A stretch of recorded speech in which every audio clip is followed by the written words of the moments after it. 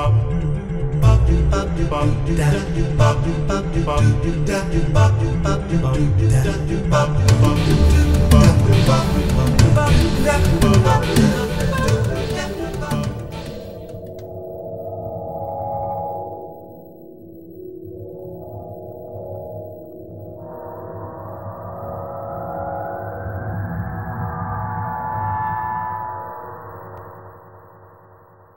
Forty years ago, a world famous biologist, Paul Ehrlich, and a world famous physicist, now science advisor to the President of the United States, John Holdren, invented a special equation in honor of the first Earth Day.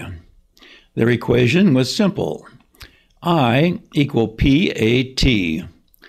I stood for environmental impact, P stood for population. A stood for affluence, and T stood for technology. In other words, as people get more numerous, get wealthier, and use more technology, the earth suffers. The moral of the equation, so far as the earth goes, is it would be better to have fewer people, less wealth, and less technology. Well, 11 years later, in 1980, a scholarly study commissioned by President Jimmy Carter, the Global 2000 Report to the President, echoed this moral by claiming that, quote, if present trends continue, the world in 2000 will be more crowded, more polluted, less stable ecologically, and more vulnerable to disruption than the world we live in now. Serious stresses involving population, resources, and environment are clearly visible ahead.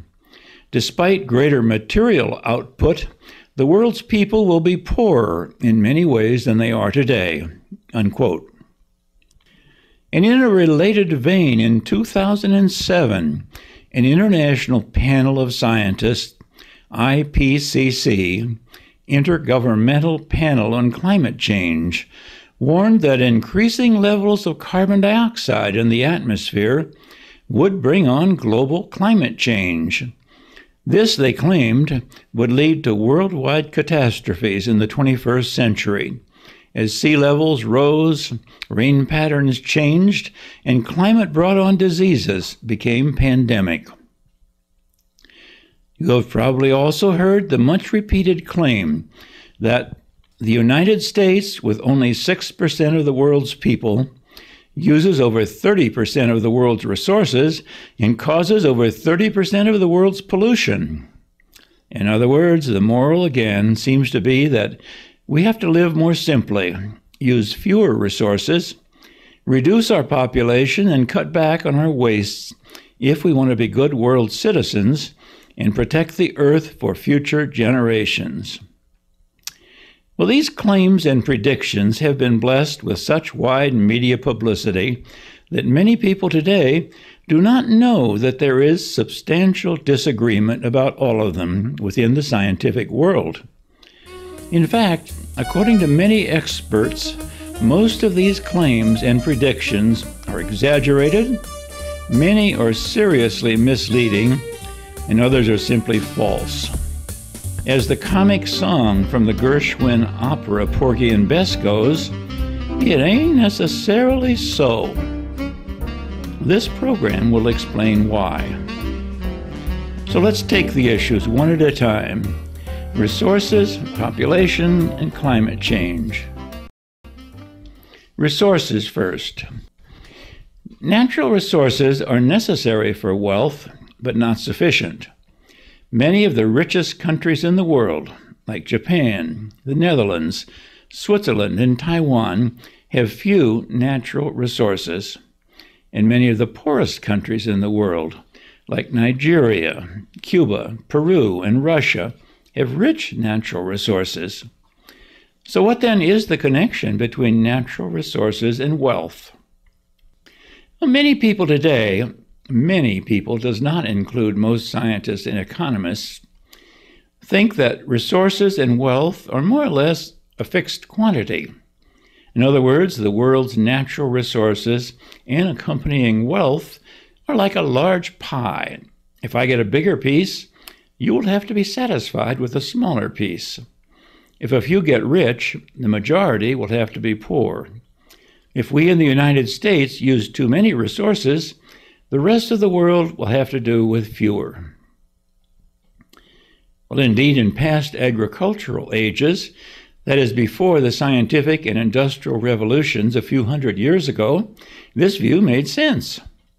Wealth then was usually measured in two all important natural resources land and gold. Countless wars were fought over both land and gold because the only way one group could get wealthier was to steal land or gold from another group. Well, all of this changed a few hundred years ago when humans learned they could use natural resources to create wealth and then to multiply it using powerful new technologies in a free market capitalist economic system. It was no longer necessary to steal from one another to get more resources like land or gold. You could create wealth on your own. You could create new resources like steam and aluminum and electricity and plastics and new kinds of food, and then multiply them and buy and sell them instead of just using or stealing them. The wealth of the world, in other words, was no longer like a big pie where a few fat cats got the big pieces, leaving the crumbs to the poor. Instead, the pie could be multiplied over and over again, so potentially everyone could have a big piece. This new view of resources and wealth did not take root in most people's minds, however, until quite recently, and it still is not widely appreciated in many parts of the world, including our Western world of affluence. For instance, consider the following 150 years ago, the population of the United States was less than 31 million people. The average life expectancy was 43 years. There was a telegraph system, but no one had a telephone. The average wage was less than 15 cents an hour. Even the very rich had no indoor plumbing, refrigeration, air conditioning, electricity, or anesthesia for an operation. There were railroads, but less than 10 miles of paved roads in all the United States. There were no cell phones, television sets, radios, computers, airplanes, or automobiles. As for education, fewer than 1% of the people graduated from high school, and 99% of all doctors had no college education. Most people, except perhaps the 800,000 men who died in the Civil War, rarely traveled more than a few miles from where they were born. And forests covered about a third of the United States and Canada. Today, the U.S. population is nearly 10 times as great, over 300 million. Life expectancy in the United States and most of the industrialized world is more than twice as long, over 79 years.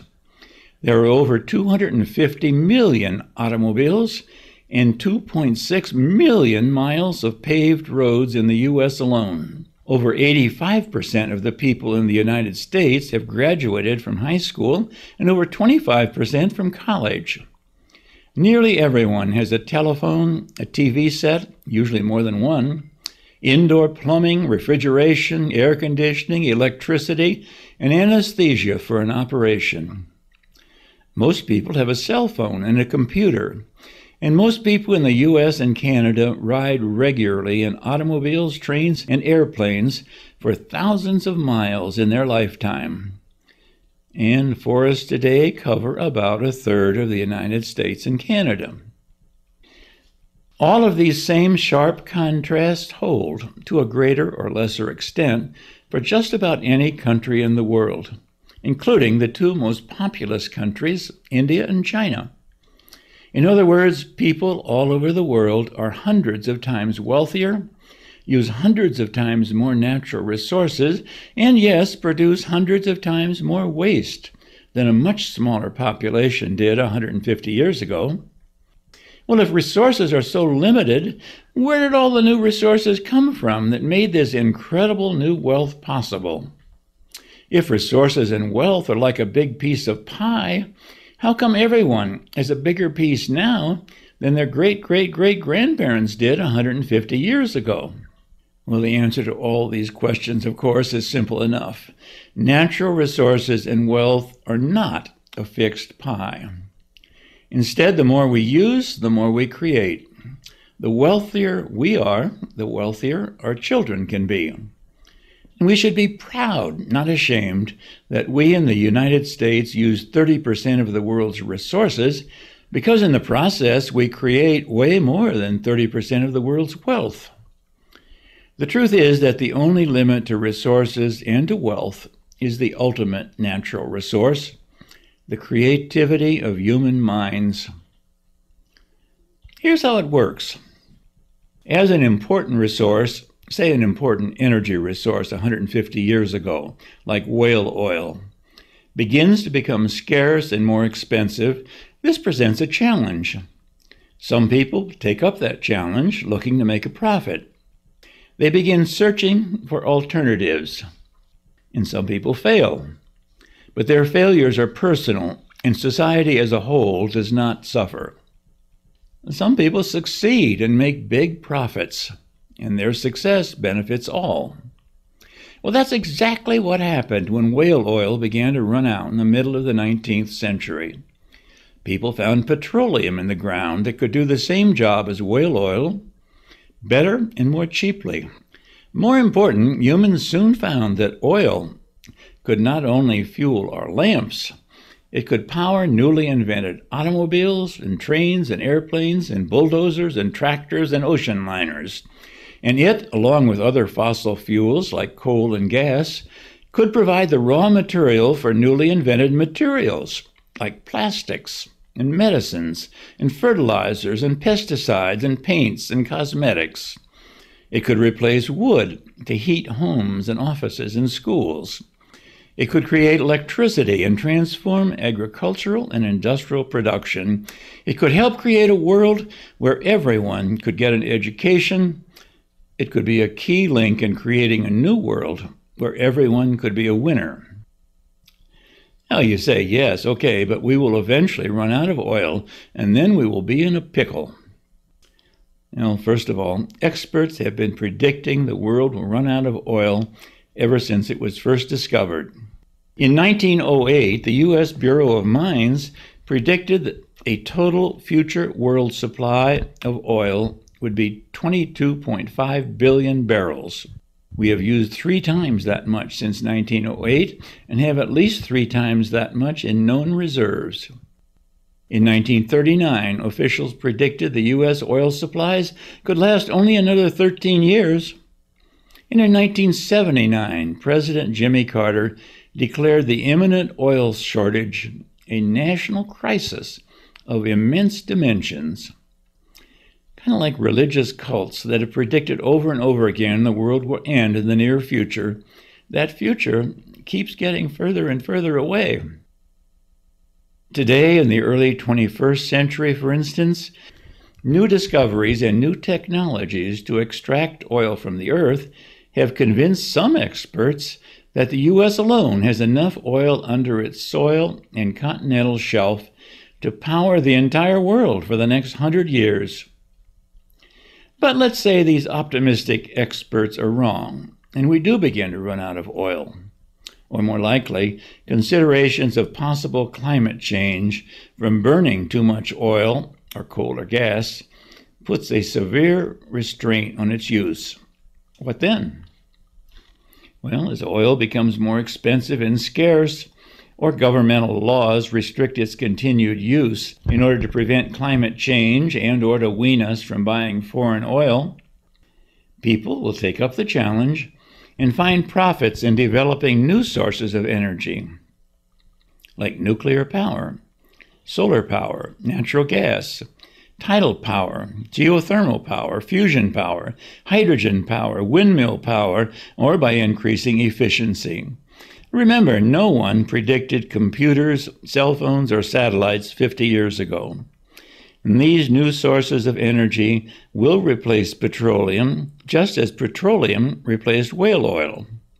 And this process of resource creation and wealth creation is already happening today. The same story could be told about other important natural resources. Take wood. True, most of the original forests in the US and Canada have disappeared.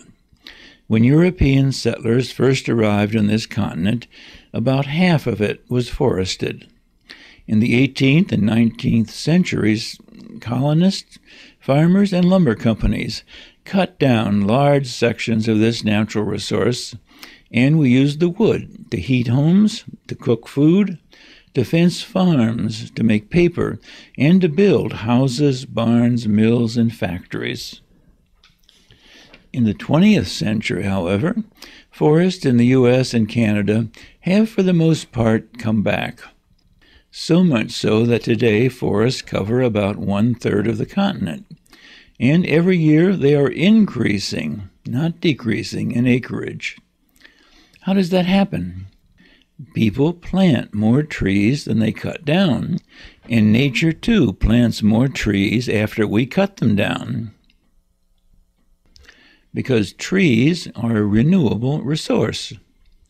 And contrary to what many people think, despite the increased demand for wood and paper worldwide in the 21st century, forests in the US and Canada are growing year by year in both quantity and quality. Or take food. Farms produced just enough food for 88 million people in the U.S. in 1908. The same, or actually less, farmland produced more than enough food for 300 million people in the U.S. in 2008 and there was enough left over to help feed many millions of people in India, China, Southeast Asia, and South America. How? Well, people invented better ways to farm, better ways to genetically modify corn and wheat and soybeans, better ways to prevent crops from being eaten by insects and moles. They used tractors instead of horses, and so forth and so forth. A farm family in 1800 could produce just enough food to feed itself and half a person more. The average farm family in the U.S. today can feed itself and 50 people more. We have used immense amounts of iron, copper, aluminum, tin, lead, silver, and gold and other metals. Yet today, all of these metals are cheaper, that is, more plentiful than they were a hundred years ago. How did this happen? People found better ways of extracting metals from their earthbound ores. People found ways of using metals more efficiently. People found better ways of recycling metals. And people found substitutes for many metals. Let's not go too far too fast, however. There's at least one exception to this good news story about resources. That exception is wilderness conservation and species preservation. New forests are not the same as old forests. A species lost can never be regained. Theodore Roosevelt recognized this a hundred years ago when he pioneered in creating our first national parks and wildlife reserves. And today, all over the world, governments and individual citizens and nonprofit organizations are carrying forward this important work. Here, in one of the poorest provinces of China, for instance, the Nature Conservancy is helping the Chinese government create its first national park. Despite the bad news from the Amazon basin in South America, people are rallying today to slow down and eventually to stop the destruction of the rainforest there and in other places around the world. Here again, the moral is not to denounce wealth or populations or technology, but rather to welcome technology, to encourage wealth creation, and to enhance and improve the free market economic systems that have brought such technology and wealth to the world.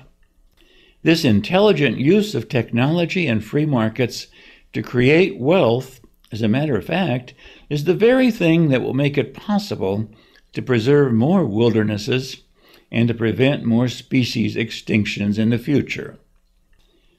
A Chinese proverb put it this way A peasant must stand for a long time on a hillside with his mouth open before a roast duck flies in. Natural resources are like that. To those who stand and wait or expect governments to solve all problems, resources are few and far between, and if we use them up too fast, there will be less for those who come after. On the other hand, to those who search and work creatively, resources and wealth are unlimited. We can all be winners. Population. With some interesting twists what we just pointed out about resources is more or less true of populations. The same biologist who helped invent the equation I equal PAT, Paul Ehrlich, his specialty was insects, also wrote a best selling book in the 1976 called The Population Bomb. In the first sentence of the book, he boldly stated that, quote, in the 1970s and 1980s, Hundreds of millions of people are going to starve to death in spite of any crash programs embarked upon now. India, he claimed, was a basket case. He recommended what is called triage.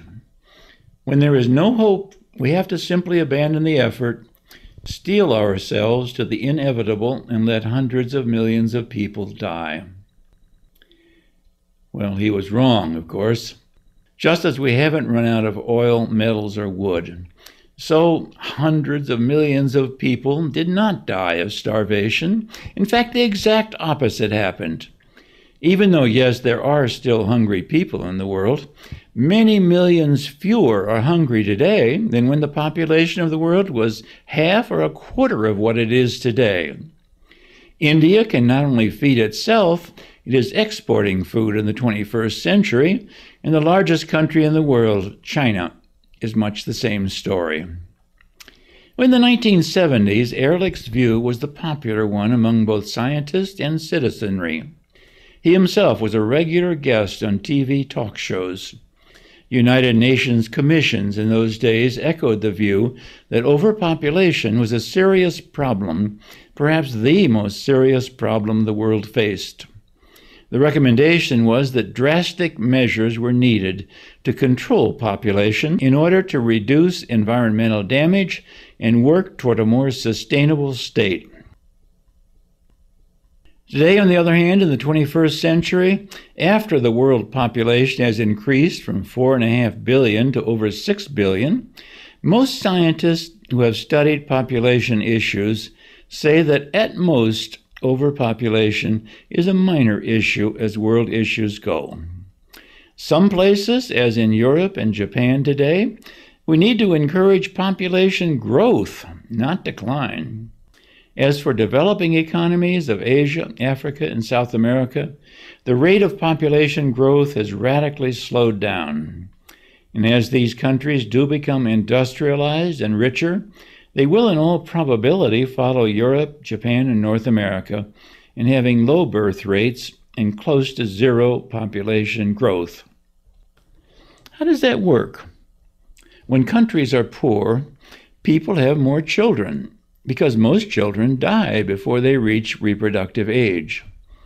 In England in 1600, half the children died before the age of six. As industrialization and free market economics make countries richer, people begin having fewer children, and most children do live to become adults. For example, in the United States in 1776, the average family was seven children. In 1876, the average family had 4.6 children, and in 2000, the average family had 2.1 children. This same decline in average family numbers seems to be happening all over the world. And so long as free market economics and democratic political systems continue to grow, creative human beings will continue to solve resource challenges, to create more wealth, achieve better health, lower their birth rates, and believe it or not, find more open spaces, more wild areas. Oh, wait, wait, that's going too far, you say. How could that be? More people, more wild areas? Well, look at New England today and compare it to New England 150 years ago. In the 19th century, settlers cleared the trees from most of the hills and mountain valleys and then farmed the marginal soils of much of New England. Where they couldn't raise decent crops, they grazed sheep on the denuded hillsides. Populations were lower, yes, but poverty was higher and pollution was more, not less. Today, farms in New England are many fewer, but much more productive. Forests are much more common. Much of the land is open to wildlife and recreational activities for harried urban dwellers from eastern metropolises, where factories and service industries have created the wealthiest coastal region in the world. In New York, Boston, Baltimore, Philadelphia, and Washington, D.C., populations are among the densest in the world, but access to wilderness recreation is among the best in the world, and pollution is arguably at the lowest level in 150 years. You don't agree? Well, let's look at the record. Climate change. 30 years ago, it is true, most experts claimed resource depletion and population growth were two extremely serious world problems, perhaps the most serious problems the world faced. Today, however, the majority of experts, not necessarily the ones who get the most publicity, agree with the views stated in this program. Resources and wealth are not like a large pie. Resources are unlikely to ever run out. Population growth is no longer considered the crisis it once was. And finally, the majority of experts on toxic waste issues, again, not necessarily the ones who get the most publicity, also agree with the view in this program that toxic pollution is at most a minor problem today in the US, Canada, and Western Europe. There are, of course, still many places on Earth with serious pollution problems. But environmentalists can take credit for having spearheaded movements in the 20th century, North America and Western Europe, that have made the air, water, and earth cleaner and more healthful than they have probably ever been in human history.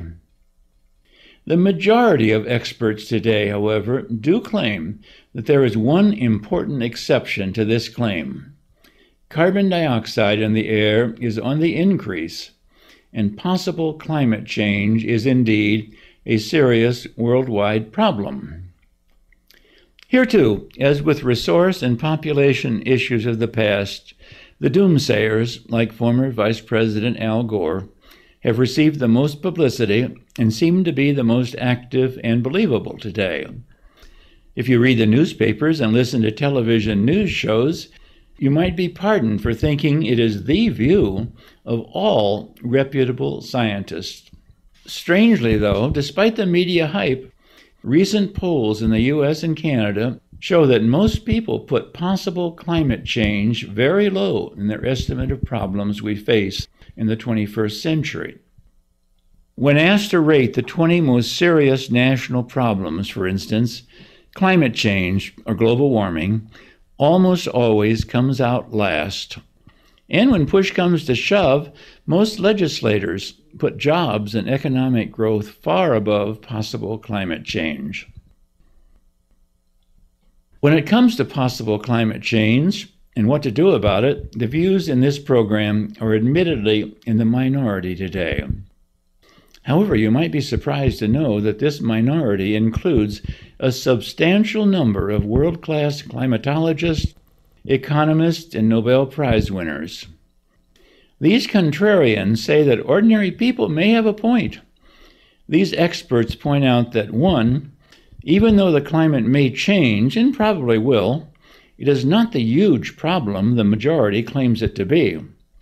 And two, when and if climate change does accelerate in the 21st century, humans will not only cope with it, they will probably end up richer, not poorer. Just as the decline of whale oil led to the discovery of petroleum, just as the explosion of industry and population in the 19th century led to the wealth of the 20th century, so the possible warming of the Earth may lead to extraordinary progress in efficiency, new energy resources, new ways of controlling nature, new progress in agriculture worldwide, and dramatic progress in healthcare. Let's be specific. All informed scientists agree that carbon dioxide has been increasing in the atmosphere in recent decades.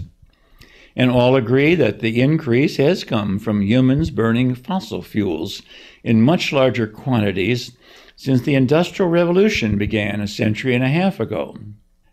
They also agree that there is an atmospheric phenomenon called the greenhouse effect. Some gases in the atmosphere, like carbon dioxide, methane, and water vapor, the most important greenhouse gas, reflect infrared heat rays back to Earth and make our planet a warmer place than it would be without these reflectors. Fortunately, if it weren't for these greenhouse gases, Earth would be too cold for life of any kind. Clouds are even more important causes of temperature variations on Earth, but their influence is mixed and not very well understood. On the one hand, clouds cool the Earth by reflecting solar rays back to space instead of letting them warm the Earth. On the other hand, clouds warm the Earth by reflecting infrared rays back to Earth as the greenhouse gases do. As you can see, it's complicated, and even expert climatologists disagree about many of the details. They do agree, however, that global warming today is real. The world has warmed in the 20th century, though only about 1 degree centigrade. That said, many climate scientists point out that man made carbon dioxide increases in the atmosphere do not necessarily mean the climate will get still warmer in the 21st century. They point out that 1. Carbon dioxide is a very minor gas in the atmosphere, around 3 one hundredths of 1%, and of much less importance to the greenhouse effect than water vapor or cloud cover, for instance. And 2. Climate change has occurred throughout Earth's history. Many times over the last few thousand years, the earth has warmed and cooled. In medieval times, Greenland was green, with a thriving agriculture and cattle culture. A few hundred years later, there was a little ice age, and people were ice skating on the Thames River in London. These warm and cold periods in the Northern Hemisphere may or may not have been true for the Earth as a whole. The evidence is inconclusive. Some climatologists point out, however, that in past climate changes over many thousands of years, the carbon dioxide percentage in the atmosphere has increased after the temperature increased, not before. In other words, it has presumably been an effect, not a cause of climate change. Three, climate is affected by a very large number of variables, making long term predictions unreliable, even with the aid of modern computers. And four, detailed predictions about possible rain pattern shifts, sea level changes, disease vectors, destructive storms, and so forth, due to changing climates, are even more unreliable. All that said, this contrarian minority of climate scientists and economists admit that, yes, some of the scary scenarios might happen in the coming decades. Sea levels may rise. Rains may change their patterns. Diseases may come to regions immune in the past. Polar bears may be threatened by habitat loss. They also point out, however, that some regions may benefit from a warmer climate. Farms in Canada, Russia, Scandinavia, and the northern U.S. will have longer growing seasons. More carbon dioxide in the air will act as a stimulant to plant growth worldwide. And since far more people in the world today die from cold than die from heat, there may be a net gain of people if the climate worldwide gets warmer. Well, benefits or dangers, what should we do about it now? How much of present wealth should we spend to prevent possible future changes in the world climate? And here, many contrarian climate scientists, and especially many mainstream economists, say go slow. In the 21st century, they point out, there are now and there will be in the future many challenges, not just one. The Earth's two largest countries, for instance, China and India, are both rapidly industrializing, and the people there are getting richer, better fed, and healthier, and birth rates are lowering day by day. Just a few decades ago, both countries were being written off as desperately poor, gravely overpopulated, and incurably polluted. And today there has been immense progress on all of these fronts. Here in one of the poorest provinces of China, for instance, you can see superhighways, new hospitals, lush farmers' markets bulging with produce, new apartments, internet cafes, lively schools with ambitious young teachers, productive rice fields, tourist attractions, and first class hotels. Yes, there is still poverty and pollution, but the progress over the past few decades has been truly remarkable. And this progress has been due to the same two forces that brought such progress to Western countries in Europe, North America, and Japan. Industrialization using fossil fuels, mainly coal, and free market economics. If China or India were to drastically cut back on their energy supply by severely restricting the burning of fossil fuels, they realized they would condemn themselves to a heartbreaking relapse into poverty, violent political problems, soaring unemployment, and rampant pollution. Needless to say, they are unlikely to do this voluntarily. Contrarians point out that the world has other challenges as well, far more immediate and severe than climate change. For instance, disease epidemics like malaria, AIDS, tuberculosis, and chronic diarrhea destroy millions of human beings every year, as do desperate shortages of safe drinking water and basic sanitation, poverty and malnutrition in many parts of the developing world. If we are to spend vast sums to help the world's environment, which after all includes its people, we would be wise to concentrate on what we know is here today rather than spending our wealth to protect against speculative dangers 50 or 100 years from now. Still, yes, with all these caveats, contrarians admit that climate change is real. So, can we do something now to protect ourselves from the negatives of possible climate change in the future while maintaining and indeed increasing our industrial growth and worldwide progress? Well, it's true that many scientists, economists, and politicians agree with former Vice President Al Gore that we do need to take dramatic and drastic steps now to cut back fossil fuel use as soon as possible, even if it does slow down economic growth and wealth creation. Well, contrarians disagree. Using the same computer projections of climate change that the doomsayers use, they point out that reducing possible future climate warming by even a single degree centigrade would require many trillions of dollars today and would severely stunt, if not reverse, economic growth in both the industrialized and the developing worlds. Contrarians do agree that we should, by all means, increase our research into new energy systems and new ways of using energy and all other natural resources more efficiently. The best way to do this, however, may not be lavish public subsidies that only too often fail to pick winners and waste resources, but instead to put our faith in the old fashioned profit motive that solved so many problems like this in the past. No one knows now, for instance, which new energy system or which new pollution controls will be the most effective.